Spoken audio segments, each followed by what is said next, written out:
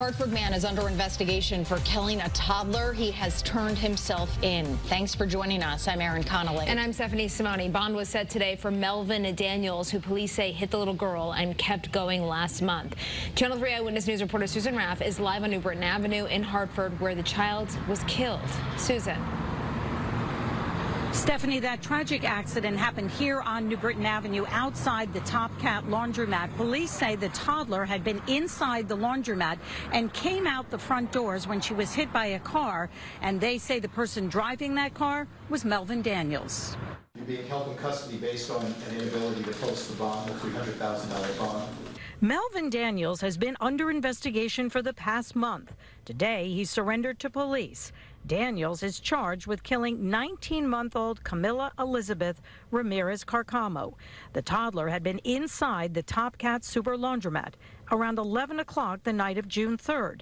Police say she walked out the open door and wandered into the street, where she was hit by a car.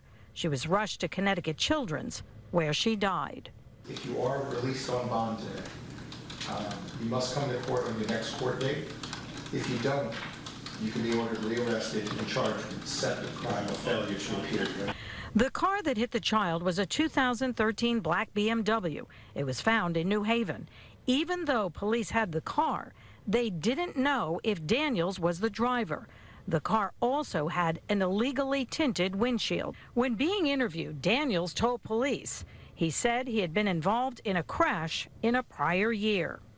Daniels is a Hartford resident. There are no pending criminal cases against him, but he does have a conviction for failing to appear and disorderly conduct.